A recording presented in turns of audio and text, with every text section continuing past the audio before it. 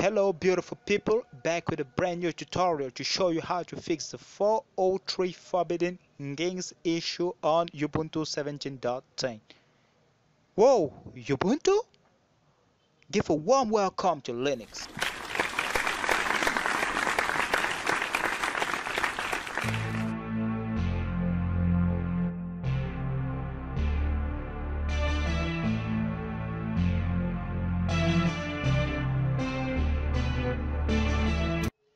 Okay first thing to do is to load your web browser just to verify you have the issue and type localhost. If you see this page it means you have the same problem. And for this there is a very simple solution to fix it which is to stop the Nginx service.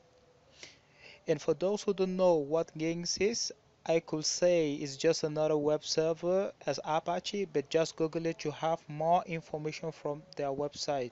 So after following these steps your 403 issue will be fixed.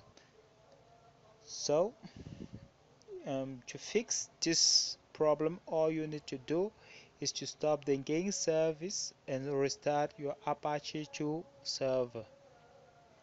To do this you just need to open your terminal and type sudo service nginx stop. Enter your password if asked to. So as mine won't ask then after doing that then get back to your browser and reload to see if the problem has been fixed. Okay. But for our Apache server to start working again we need to restart your Apache Source 2 server from the terminal. Once done you can see that everything will be working. So just type sudo services apache 2 and then restart and get back to your browser and reload the page. So you can see the problem has been fixed.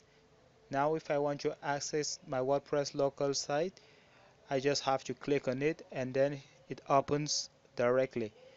So if I stop my web browser and relaunch it again it's probably going to to work. So there is also another solution to it which is just to, uh, to this problem which is just to uninstall the Nginx service from your system